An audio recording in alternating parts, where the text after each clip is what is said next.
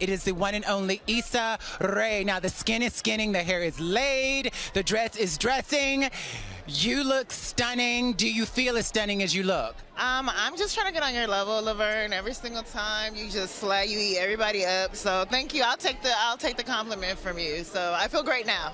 You're in three films that are nominated. Every film you um, did in 2023 are nominated for Oscars. What is the Issa Rae touch? Like, we need that Issa touch to get our Oscar nominations. Uh, cast me. You know what I'm saying? I'm not gonna say that I'm a good luck charm, but I am wearing green for good luck. So I just want to send a message out there that if you want to get um, nominated for the Oscar, cast me. Absolutely. Speaking of your look, what is the story of this look? Just stunning. Oh my gosh. So I got to work with uh, the amazing Alexandra of Ami, and they put this dress together custom. It went through so many different iterations to just mold to me. And so I wanted to mold, I wanted to feel like old Hollywood, and, and I feel like that.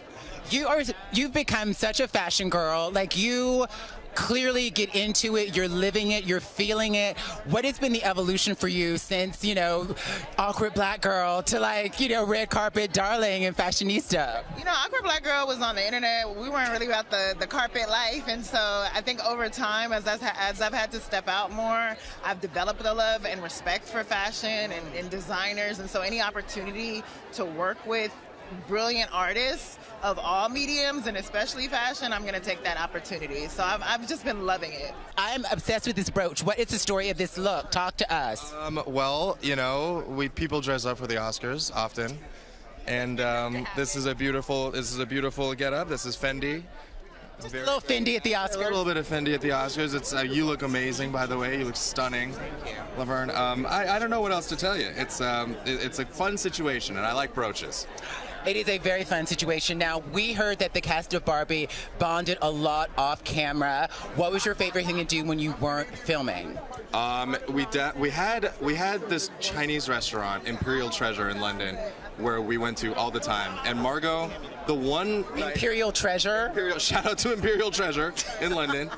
and the one day that we had, so I was supposed to pay, and I was kind of like treating everyone um, Margot like did the thing. She like left to go to the bathroom in the middle and paid for the whole thing. Oh. And I feel like not, you know, that hasn't really been talked about. She's such. So a, you still owe her a dinner. I do, and she never lets anyone pay because she's incredible and generous and, and amazing. But that that's that's my favorite memory. I heard she made everyone wear pink once a week or something. Talk to me about the pink days. Am I right? Am I miss?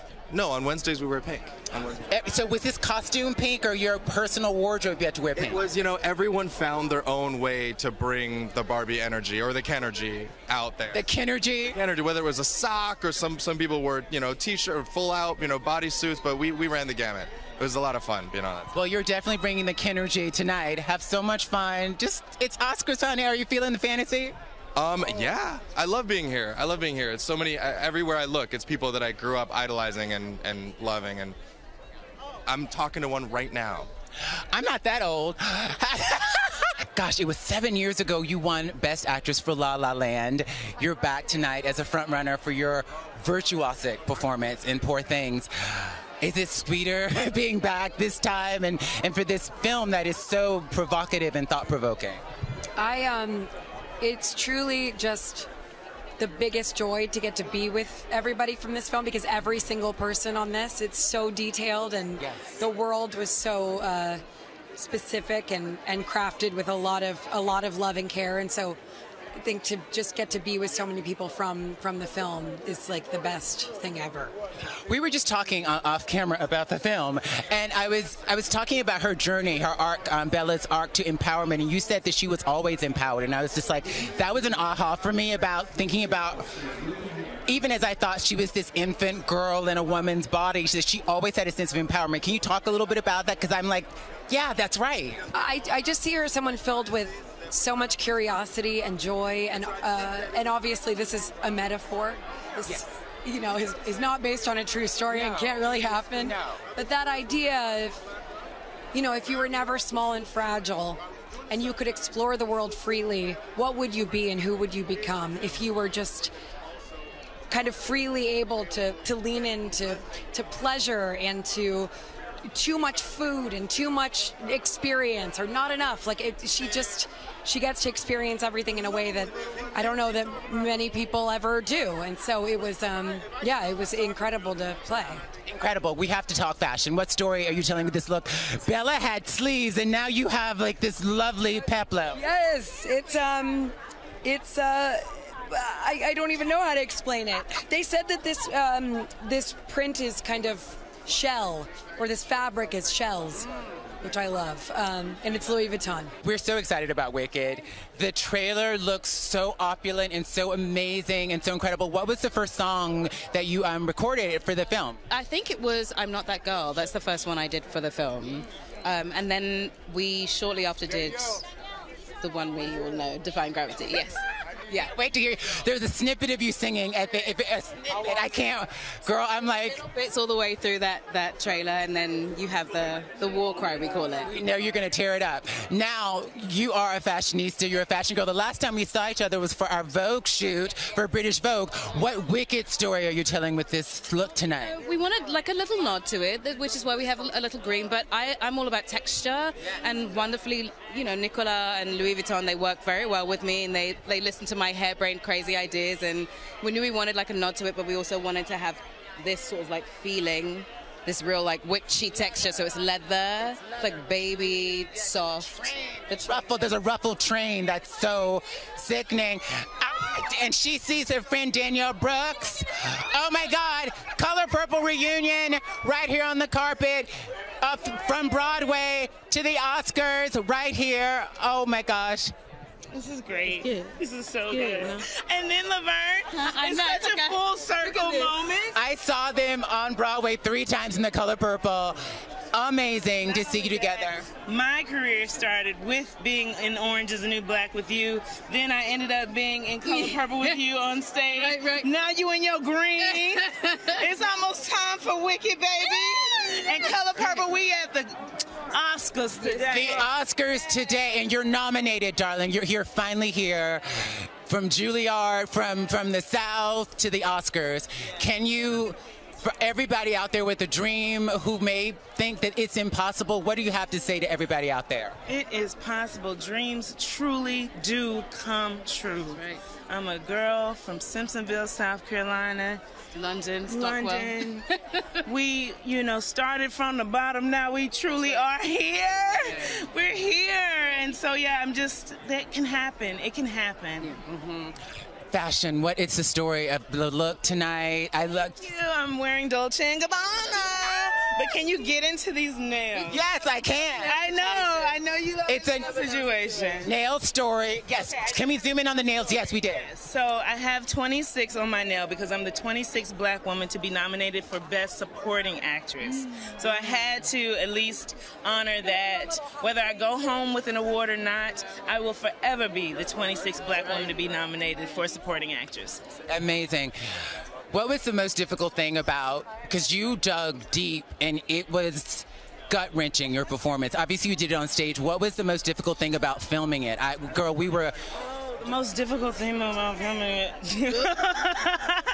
I mean, it was so much. I think I'm so happy right now. I can't even think about what's so been difficult because this moment is so major. It's all worth it. Every difficulty led you here, and you used every difficulty to turn in an iconic performance. Thank you for my flowers, Laverne. I love you so much. You're just golden. Congratulations. Flamin' Hot is your directorial debut, and it is nominated for original song. Becky G's performing. How exciting is it for you for you to have your first film nominated for an Oscar? Oh my God. I uh, I have goosebumps. I'm I I can't believe it because I can. You know why? Because Diane Warren wrote the song, so she's a genius, and Becky G's a genius, and their performance tonight. You you will never be more proud to be a Latino and a Chicano, but like. Becky's thought and love that she put into this performance tonight is going to blow everybody away. She has some special guests from Inglewood, so I can't wait for everybody to see. You know, we don't ever get this platform. We people of color, we don't really get this stage. And so we wanted to bring our whole community with us tonight. We wanted to thank everybody for watching the movie, making it a success. And uh, it's just, it's just been a ride all about the fans. You look stunning, as always. What is the story of this look? This necklace is gagging me. The black velvet is gagging me. You look so good. talk to us. Feel yourself, honey. What's the story of the look? Um, this is Tamara Ralph, which is like elegant. I wanted to do like elegant and, you know, sophisticated, you know, because I'm usually a little more. The diamonds. Talked about the diamond. This is um Boucheron. Yeah, Boucheron. I'm like, is it? Yes. How great is that? We, and it's very modern. So I wanted something very modern, um, and young and hip, and you know, I don't, you know, I don't decide any of this, by the way. It's my hair and makeup and styling. Ken, Alon, and Maeve decide everything. I just, I'm a Barbie doll and they just put things on me. Colman, we were just talking um, before we um, went live about our journey. I think I've known you for 20 years. I saw you for the first time in Scottsboro Boys on Broadway. You've been doing theater and television. You have an Emmy now, and now you're an Oscar nominated actor. Is this the dream realized in this moment for you? I think it's it's a lot of the dream. It's not only the dream realized for myself, but I think for many of my peers as well. I'm a journeyman actor, and I'm someone who's been dedicated to the craft of just doing work that matters. And a lot of times, you know, I have so many colleagues to the left and right of me who don't get this shine.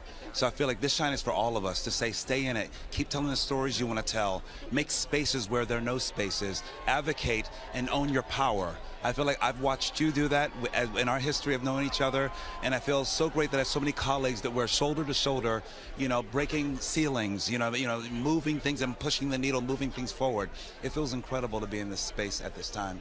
It's so beautiful. Rustin is incredible, but you were also amazing in the color purple as Mister, like playing that, playing that, playing that banjo, and and he his arc, I, the range that you were sh- just showed in these two performances. What do you want people to know who maybe didn't know Colman Domingo before this award season? What do you want them to know about you as an artist? Oh wow, that I, that I'm, I'm very careful about what I, the stories that I tell in every depiction that I, I know that I think people can see now, that I want to humanize all these men that I play, whether they're heroes or villains. I don't want them to just be, you know, uh, put, put, in marble because they're uh, a hero or some sort of civil rights figure, and I don't want them also to be villainized because they are a hurt person hurting people.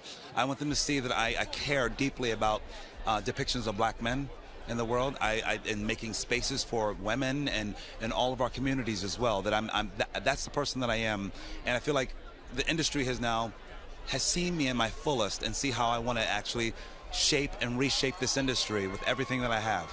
Speaking of shaping and reshaping things, we have to talk about this look. You have set a new standard for award season for men this season. What is the story of the look?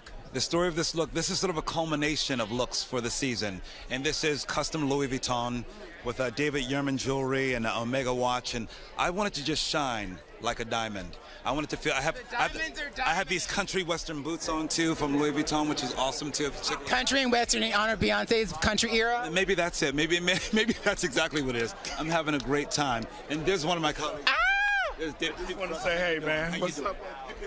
David Alan Grier. Thank you. I voted for you twice. Twice? That's right. Can you do that? Yeah, well, I can. Uh, see, that's what, this is the kind of colleagues that I love. we love these spontaneous moments. How proud of, are you of him and what he's accomplished?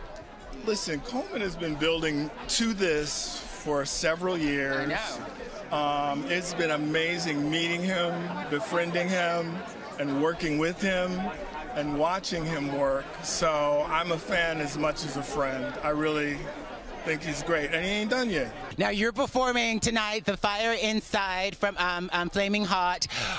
Are there any people that you're planning to lock eyes with in the audience to help you get through the performance? Are you singing to any like A-list actors tonight? I mean, we all know it's a packed house, and I'm honored to be here, but I'm more excited about the special guests that I have on stage with me tonight and locking eyes with them and creating all this amazing chemistry because we're all going to be sharing an unforgettable moment. I'm an LA girl born and raised here and proud to be, but I had to bring a little bit of Inglewood to Hollywood, so I think you guys will be very excited. Oh my God. Okay, I'm super excited. We have to talk fashion. Tell us the story of the look. I'm obsessed. Thank you so much. It's a little custom Vera Wang moment you were sharing. We, we had to have the uh, iconic sleeves, of course. But so happy, so excited. I was geeked. And all my fittings, I literally was like at the verge of tears every single time. Her team is incredible. Now, your song, Shower, turns 10 years old in like a couple of months. Is there anything you're planning to do to celebrate the 10 year anniversary? Um, mean, just celebrate life, celebrate family, celebrate all the sacrifice that it takes to get to this place, you know? I'm also dying because The Rock was right behind me and I. Another one of my um, Vogue cover cover star co-stars. We all met each other, right? That's how we met. So beautiful. You look so beautiful. The Dune 2 press run was a fashion like a like a, the fashion Olympics between you and your co-stars.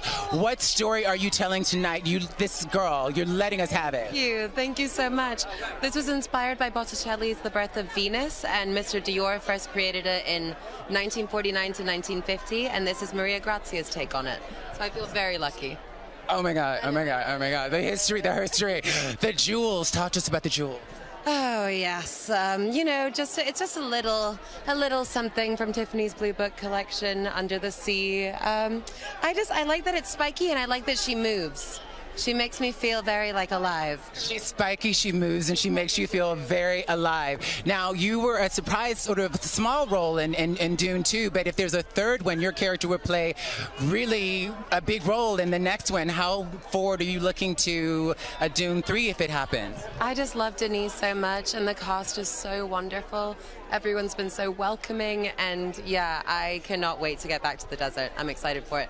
You're so beautiful. I'm You're so beautiful. staring at your face. I'm like, ah. I'm staring at your face. Now, Furiosa is coming out this year. I don't know when the date is, but two years ago, you said that you would need two years to recover from making that film. It's been two years. What is your takeaway um, from Furiosa, and why was it so grueling for you? Oh my goodness. I think those movies just invite in a certain kind of chaos and it's a certain kind of crazy person that goes to make it. So I feel a deep kinship with anyone who's been out in the wasteland in any of the films. Yeah, we're just we're a family. Tonight is the night. I, I just saw an interview where you um, told a story like she was because if you don't know Ryan's also an amazing actress as well and she was the first in this couple you've been together for 18 years to get a big nomination it was for a SAG um, SAG Ensemble Award for Boston Legal back in the day and you were like in Sterling apparently you said I'm so excited to go with you and then what did you say Okay, not you going, what did you say with the girl? Come on, girl. Get her. Hi. Get her. I said that I was going to take my manager because we were going to use it as a networking opportunity. now when you got the Oscar nomination did you do, did you say the same thing to her Child, please, I wouldn't be here. I would not be alive.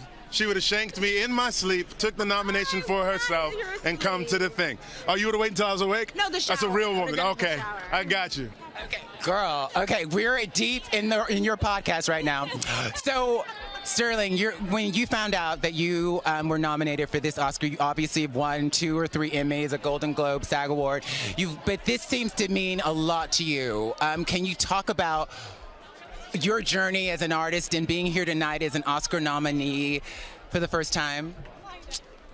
I feel like I'm on cloud nine. You know, there's there's these things that you dream about as actors, moments that you wonder like if they'll ever come your way, what have you. Wouldn't it be cool to go to the Oscars? Mm-hmm. Wouldn't that be a lot of fun? And now we're here. Like I'm, I'm actually here. My wife would get mad at me sometimes because she's like, "Don't you want to go?" And I was like, "I, I want to go when I get nominated." And now I'm here. and Laverne, I got nominated. We're aware. It's real cool. I feel blessed. And this film is so amazing. What do you want to tell people? What do you hope the takeaway for the audience is with American Fiction? um, that that black life is human life, that we are closer to each other than we realize, that oftentimes we try to other each other and make each other feel different and we can't unrelatable.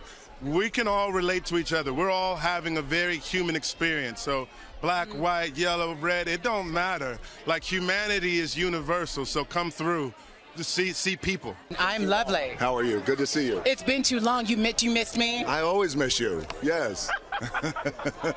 You're presenting tonight, and uh, what a year for, for film. What an incredible year. What are you most excited about? I'm looking forward to tonight. Uh, I'm most excited about like what we do every Oscars, which is just a celebration of passion and hard work and commitment. And I thought there were some incredible movies, obviously, that came out. I love the Oppenheimer Barbie combination that came out. I think it turned our business upside down. I think what those guys were able to do, particularly Barbie, I love Barbie, especially what those guys were able to do, especially with Oppenheimer, to take that. It was a very inspiring movie to me. And plus, I, I know Cillian and Emily's one of my best friends. So super excited for everybody tonight. Oh, I, I was just thinking about them. We were on strike when that film came out and they weren't able to promote it, and yet they were able to turn in this huge, incredible box office. I mean, think about that for a second. We were on strike, uh, couldn't promote it, and then that movie makes a billion dollars, and that is a hard subject matter that's very polarizing. It's why, in my opinion, directors have stayed away from it and studios have stayed away from it. And I thought Christopher Nolan and his wife Emma did a perfect, brilliant job. Perfect. Now you are, are you in the live action Moana coming up soon? When is it coming out? What can you tell us? So live action Moana, we're going to start shooting that uh, towards the end of the year. Myself, uh, Tommy Kail, who directed Hamilton, very excited about that. Uh, love Tommy, and before that, I'm doing a movie called Smashing Machine with Benny Safdie, who's going to write and direct with A24. And again, uh, I can't get enough of her. Emily Blunt will be my co-star in that. We love to see it. We love to see you two together. Have so much fun tonight. We love you. You're booked and busy, and it's such a blessing. It's so wonderful. Listen, stay. Lionel Richie, his great advice was George Burns told him, "Stay booked, kid." Stay booked. Uh, Lionel Richie gives the best advice. He does the best. That's my guy. It's Uncle Lionel. I'll tell you at the after party what he told me. Oh. No, it's good. It's, uh, we, we just running out of time. I would tell you now. We got time and money on this. you got money. The Rock has money. it's so good to see you again. Good to see you. I loved working with you. I loved working with you too. That that episode of TV changed my life. Well, it should have. You're an amazing actress, and people need to know you. I love you. Thank you. Uh, hey, you know we got to keep the lights on. It's so good to see you on our screens too. Nyad is such a powerful film about friendship, about determination. I didn't know her story, so I didn't know if she was gonna die doing this. So I didn't want to look it up. So I was watching, and the I talk to me about working with Annette and how and its chemistry that you guys have and the complicated relationship that you um, create on screen. Yeah, so two two two things that I wanted more than anything with this film. One was to work with Annette Bening and be her supporting partner, supporting abs is what I call myself, and then um, Bonnie and Diana, the real Bonnie and Diana, who are just extraordinary people, extraordinary friends. You know, they were lovers many many years ago, but they are family now, as that happens with our generation, and. Um, I just admire them so much, and, I, and they're such characters. I couldn't wait to do it and uh, women in, in, their 60s, and like th- th- to get the idea that I'm going to do the swim at the age of 60 and to actually accomplish it, did it make you think differently about? I don't, I don't know how old you are, but me. You're 61. Okay, Jodie's 61. I'm 51. Oh my God, I'm 51 and be 52 later this year. I got started thinking a lot about aging and like what's possible for me as a woman as I age. Did, was that something that you thought about making this film? You know, I don't think about it a lot because I'm just busy doing stuff, but um, I can see it now, and especially Diana, the real Diana, who continues to astound me about what she does every day. And um, yeah, she, she did the final swim at 64, so it was, she wasn't even 60, she was 64. Um, lots of things are possible, and I didn't realize that I would be happier than I've ever been. And there's a kind of contentedness. I think it might be hormonal. I think something happens to you, and like something goes through your body where suddenly you're like, don't care.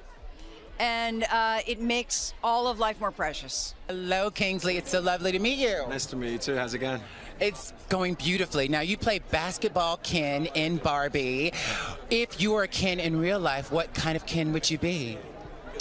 Basketball Ken. It's, it's very much who I am. This is a character I identified with most out of anyone I've ever played. So you're a baller in real life? No, but basketball Ken is, is a different kind of fellow.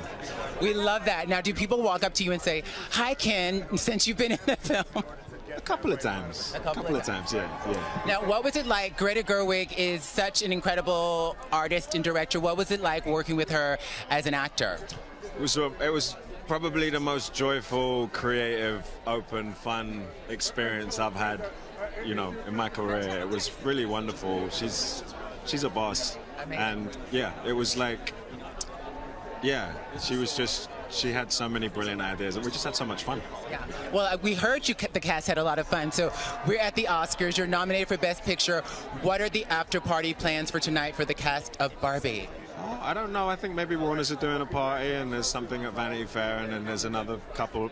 I just there's loads of parties. I am not quite sure. I'm going to wait till we finish the show and then hear what's going on. Where are you going?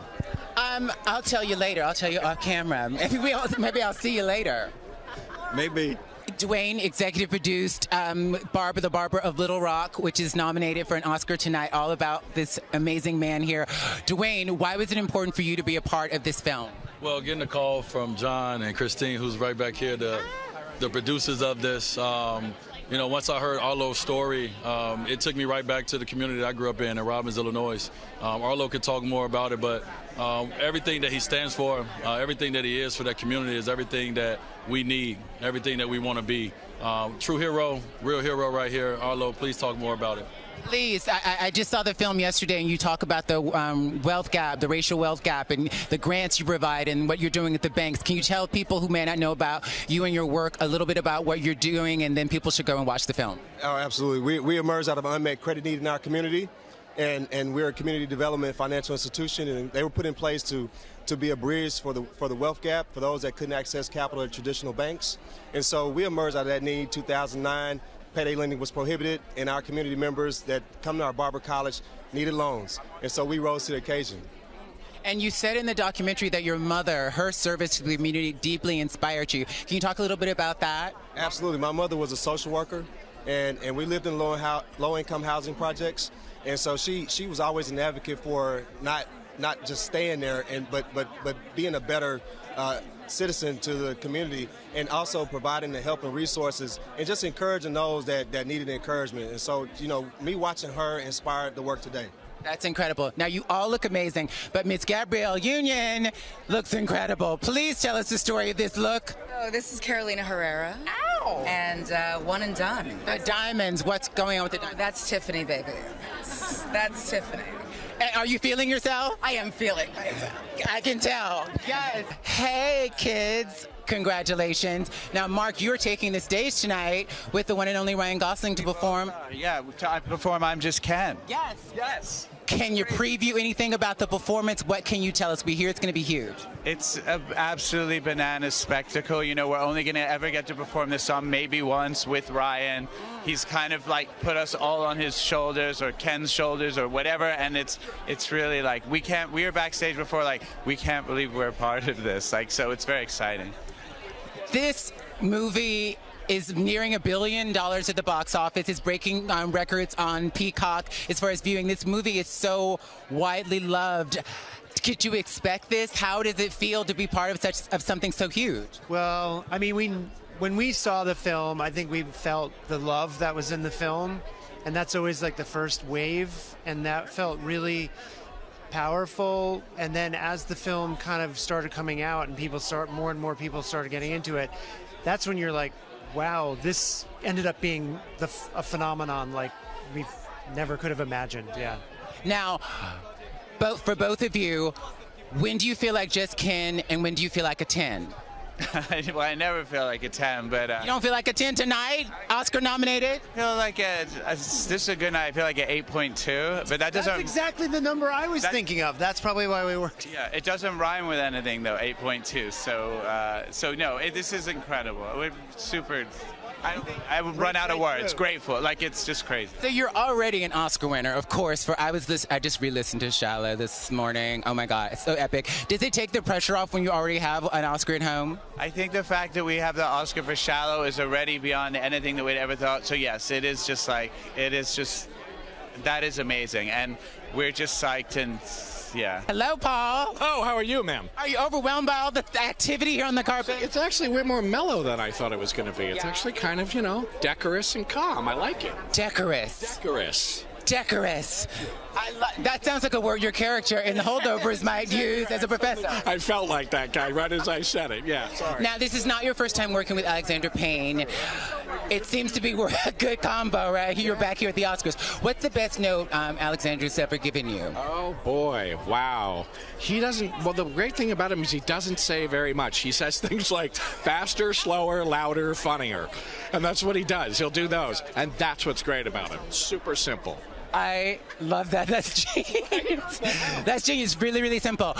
I'm a big Billions fan, and I love that show. And there's lots of fans of Billions out there. What was that journey like? It's over now. What do you want to say to all the Billions? I can't be the only one. What do you want to say to everybody? I hope they, I hope they like the way it ended because we were very concerned about how it ended. So I hope people liked how it ended. It was an amazing job. It was one of my favorite things. It was a crazy, crazy ride, but I really enjoyed it. And the fans were amazing of that thing. I loved all the people that I still love all the people who come up to me to talk about it. Now, if you were forced to chaperone someone for, you know, a holdover, if you had to, you know, do a holiday thing like your character, is there someone here tonight at the Oscars that you would love to chaperone? Wow. I think I think I would still like to chaperone Dominic Sessa, who's here. You know, he's lovely. He's such a lovely young man. Yes, I just want to hang out with him again. I just hang out with him as much as possible. What for your? What was the thing for you about your character in this film that like really that you want people to really take away most about this character, this film, and this journey? Well, I think that it's a good story about empathy and being open to whoever. You never know who's going to maybe change your life a little bit, and so I think that's an important thing. And being being empathetic and being willing to give of yourself fully to other people is a good thing. And uh, maybe even sacrifice your career in service. This guy does that. Then, uh, yeah, so, you know, being selfless as much as you can. Now, last year, you were famous for taking selfies with all the celebs. Is there someone you're looking forward to taking a selfie with tonight? Oh, absolutely. A lot is on my list, and I can't wait to uh, go up to them and tell them. Who's the top top person on your list? Oh, uh, uh, Martin Scorsese. Uh, I, I love uh, Robert Downey Jr., Robert De Niro, uh, Ryan Gosling. I mean, I got I, I have a whole list, so uh, so I can't wait to meet them, and uh, it's it's so great to be here. So you're basically you're all of us. We love that about you. Now you in a new film called um, Kung Fu Panda Four. Do you want to tell us about it? We're number one this weekend. Uh, Congratulations! With a box office of $58 million. It's my first voiceover, and I'm so proud of it. I've seen the movie a couple of times now, and it's really good. And, uh, and, and thank you to the audience for, for watching our movie this weekend and making us number one. It's incredible. You have not stopped working since you won your Oscar last year. You popped up in Loki. You have so many. What are you most excited about that's coming up on your um, roster? Well, I'm doing a movie for. Well, first, I'm doing a movie for Universal Studios. Uh, it's called With Love, and uh, and I fly out to Canada right after the Oscars. Amazing. Uh, so I'm really excited to look, you know, looking forward to being on the set again. Because I, I, haven't, I haven't, I haven't made a movie in a while. You know, with the strike that we had, and and now all of this. Uh, but yeah, I'm looking forward to that. We love seeing you on our screens. Have the best time tonight. Thank you. Thank you. And oh, by the way, you got to ask me what I'm wearing because you. What is the story behind this look, Ke Huy? I love this tux. It is a made-to-measure by Giorgio Armani. Oh, and uh, it's yeah, I love it. The brooch is it also Armani? Uh, no, this is Cartier, and I got the watch. And the, you know, I wore Armani last year. So it, it's it's um, um it's so nice to, to, to wear you know uh, Armani. It's very nice to wear Armani at the Oscars. Sandra, congratulations. Now, you've said that you're not used to all of the attention that you're getting now that you're a Best Actress Oscar nominee. Congratulations, and you're also in two nominated Best Picture films. What are your hopes for your career going forward after all this recognition? Oh, I never worked so much with hope. I think I'm just taking what I can, what comes my way, and I decide what's good for me and what not. And if so, nothing happens, then I'll do something else. So I'm just, I think I, I hope I can stay true to myself. That's, I think that's the most important thing. Just listen to your gut and you'll be fine. You look stunning. I'm obsessed with this shoulder moment. What is the story of this look? Tell us everything. This is Daniel Roseberry, Schiaparelli Custom. And uh, yeah, he made it for me. And, uh, The jewels? the jewels is Cartier. Yes, girl. Best Actress nominee in Custom Schiaparelli. Now, how does that feel, girl? It feels just amazing. It feels like a dream. It feels just right. Now, you, I understand that your director did not tell you if your character was the murderer or not, but would tell you in 10 years.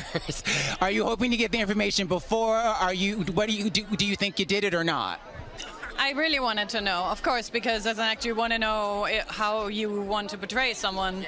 But then during the process, we figured, all of us figured it would be nice to play with the question ourselves to kind of project it to the audience so that they can make all the movements that we make. And then, so I didn't want to know. This is your very first film, and now it's nominated for Best Picture. I know you got a lot of advice from Paul Giamatti. What's been the most surprising thing about going on this award season journey for you? Yeah, I mean it's uh, it's it's all absurd. I mean, but I think for to me at least, it's it's crazy. But um, I guess the most surprising thing is just how uh, normal everyone seems to be. You know, like I you know didn't expect how these celebrities were going to be in person and how they are as people. But everyone I've met has just been really really cool and and been so gracious to me. You know, as this new person figuring this all out, everyone's been really nice to me. So that's kind of been a, really good pleasant surprise through all this. I think it helps when you're in a really good movie by Alexander Payne, co-starring Paul Giamatti. People are going to be nice to you. Now, I, I heard that you want to be uh, in a film directed by Bradley Cooper. He's here tonight. Are you going to try to meet him and maybe pitch, you know, a collaboration? You know, I I don't have any ideas in mind, but you know, if, if that conversation came about, I'd be you know all ears for it. Um, but yeah, that guy, you know, whether I if I got to just you know be close to watching him work, not even be involved in it, I, that would be a dream. So uh, yeah, big fan of him. Me too. I'd love that as well. Have so much fun tonight. You- only have your first time once, so just take it in. Are you feeling present? Are you feeling? Are you breathing? all here, yeah, I'm all here, and I'm just you know, I think this is the perfect way to wrap this all up and then move on. You know, back to back to normal. Some definition of that. How special is it for you to be here at the Oscars with the message that you're um, putting forth in this film? Very special. None of us uh, told the story with this in mind, but the fact that we're here being celebrated, but most importantly, able to really tell this story and have people understand why we told this story. The Academy bringing that attention to our film means everything, and I'm so happy to be here with Brittany and Sarah and Juliet. Brittany, why did you say yes to this film? Why was it important for you to be a part of this? Well, obviously, it's a polarizing topic, but I think that Nazrin did a really beautiful job of shedding a new perspective on something that we might have preconceived judgment going into, and this was done in such an um, an artistic way and not didactic, and it was just a beautiful way of showing a really interesting topic. What about you? What was your experience like shooting, uh, working on this film, and the message, very important message of it? Um, I mean, it's been an, an incredible opportunity that Nazrin extended to us all, and um, again, it's you know being able to get involved in something that has substance and um, really resonates with people was very meaningful. Amazing. Do you want to say something to us, darling? You're so beautiful tonight. Thank you. So much of the heart of this story. Say hi to everybody you. out there. Hi. 30 years ago, Living Single was airing on television. What is the difference between the success you enjoyed with that iconic show and the success you're enjoying right now with American Fiction? Well, it's 30 years apart. So that means that in my life, it's be 40 years that I've been in this business, and it's taken me this long to get on something like this and this carpet in this way. I'll be forever grateful to Cord Jefferson, who created The Way, and Percival Everett, who did the original novel. Obviously, I'm older, and so I'm able to uh, appreciate it and be grateful in a way that I think as a 23 year old, it would have been a little different. Amen. That's so beautiful. Now we know Christian Siriano designed your dress. Tell us how it was working with him. Well, for one thing, he's wonderful. I like what he stands for. I've always loved his career, Project Runway, but he also dressed women who normally would not be able to um, go and feel comfortable because no one would dress them. They had different types of bodies, and he said, I'll dress them. And so any man that does that and puts his, you know, shoulder to the wheel is my type of designer, and I'm very blessed that he did this. We love Christian. This film, American Fiction, it satirizes Hollywood and has a really important message about black representation. What is the most important thing for you about this film that you'd like people to understand as they watch it and contemplate it and have conversations about it? Well, representation matters. Stereotypes live long. They're enduring because we allow them to endure, and it forces us not to have to look at a person in their full authenticity. And you know something about that. And we need to end those type of stereotypes and start to live a better life around what it is to be human. And that's what I think it achieves. What performances and films are you most excited and rooting for tonight? Performances, uh, nominees. I'm excited about everything. I'm really just the whole thing. Everything. It's just a perfect show. It's all there to watch and to feel good about. Really. Now, you look stunning tonight. What is the story behind this beautiful look you're wearing tonight? I'm honored to be wearing Rodarte. They made this dress for me. So, so very good. Celine, this is your directorial debut, and you are nominated for Best Screenplay. How does it feel to have all this recognition for your first um, film as a director? Well, I just feel like it is just a complete honor, and I'm just so happy to be here. And I couldn't, you know, when this movie premiered at Sundance, I didn't think that we would get to come here. So to me, it's just such a cool thing. Yeah. It's very cool. Now, your character in the film, though, oh, it's there's something so gut wrenching about his longing for this woman, this child that he knew when she was 12, but he's never not forgotten her, and it was such so touching. What did it? How was it preparing for this and playing this um, role in this amazing film? Well, I think half of it was live experience, but the other half was her uh, smart direction of uh, keeping me and uh, Greta and I apart, and the on-screen hug that you see within 24 years is actually our first time we actually hugged each other in real life. So the audience get to experience that with us together. So yeah. Okay, so it's the scene when you're you're there and the husband's there and all of this, and you cut the husband completely out of the frame. I'm like, girl, your husband is there. What's going on? that was, but the intimacy and it was so complicated and at the end i don't want to give away the end but it's such a beautiful film. For you as a, as a, as a filmmaker as a screenwriter what did you what is your message about this? Why did you need to make this film and what were you trying to say to us about this um, these past lives? Well i think that the scene that you're talking about the shot you're talking about it is really connected to the, what the movie's about which is that language is uh, culture and the language is intimacy. And my script that i'm uh, nominated tonight for is in two languages and it's very much about the way that you know, even in our own lives, there are different ways that uh, languages create uh, spaces that you don't uh, you don't expect that are completely magical time space that kind of exists just with us. You know. Director of American Fiction, the one and only Cord Jefferson. Cord. Congratulations on this amazing accomplishment. This is your directorial debut, and here you are at the Oscars. Can you process this, and can you process the recognition and the impact this film is having? Uh, no, you know, we made the, again, it's hard. I, I, uh, we made this movie, uh, under not sort of like major auspices. We, we made it for, you know, relatively very little money. We shot it in 26 days. Um, the novel this was based on is, you know, two decades old.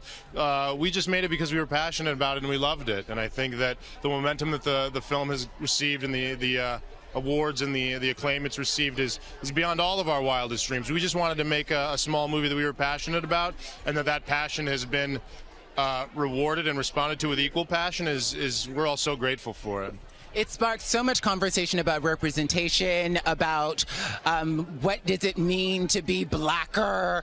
Um, of all that, there's lots of things that we can take away from the film. But what is what is one or two things you'd like the audience to take away from this film um, as the writer director? you know, I think that the, the thing that I've told everybody is I want them to take away a smile. You know, I think that I think that we've gotten um, we've lost our ability to, to. I think we've gotten so self-serious about a lot of things, and I think that it's important to laugh in the most difficult of times. I think that's what makes us human is our resilience, and sort of like there's beauty in that resilience.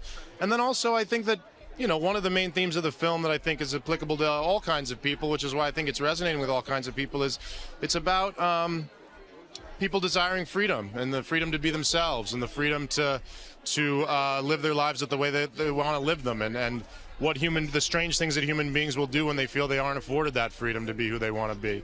And so uh, i hope that that's something that, that people can really resonate with and and maybe something you know i'm too old to believe that a movie can change the world but uh, but I think that what satire and what art can help do is cause people to think, and I think in sort of in causing people to think, they can they can change their own minds and sort of like the world changes that way, slowly but surely, hopefully. You've said that you were so excited and honored to finally work with Jeffrey Wright after knowing him for 25 years. What was the most surprising thing you learned about him shooting this film? I learned that he's got a wonderful sense of humor. Yeah, I knew he'd be down to play, and uh, but how light and joyful he was when we were attacking the script and playing and doing unexpected things. I loved his uh, his uh, spont- spontaneity, you know. So yeah. The best actors always have that. We have to be in the moment. Now, this film has such an important message about stereotypes, about representation. What is what is the biggest takeaway? The one biggest takeaway you'd like audience to have when they watch this film? The thing that I would love audiences to be left with after watching this film that deals with, with representation and identity is that we just got to normalize seeing ourselves and these types of stories under all circumstances as something that is part of life and not a once in a million time occurrence. But yeah, Now, this um, film is also about satir- satirizing crazy Hollywood moments. Do you have a crazy meeting, Hollywood meeting that you've had in your career that you'd like to share with us? Uh, I gotta say the first, my first movie, uh, which happened to be Carlito's Way, starring Al Pacino. And I didn't know what I was doing, but the next thing I know, my callback is with the great Brian De Palma, and I really, I literally don't know what I did, except I pretended that I was driving a car and miming the steering wheel of it, you know, um, and yeah, and I got the job. Diane, your song, The Fire Inside, is nominated tonight. But last year, you told me, even though you got an, an honorary Oscar, congratulations, that you still want a competitive one. Where does The Fire Inside come from for you for an Oscar? I, ju- I love doing this. The fire inside is, a, is passion, so I have a passion for writing songs that I. It's, it's never going to go out 'cause I just love doing this. I also I love writing songs for movies. Um, my honorary Oscar does want a friend. I'm not enough for him.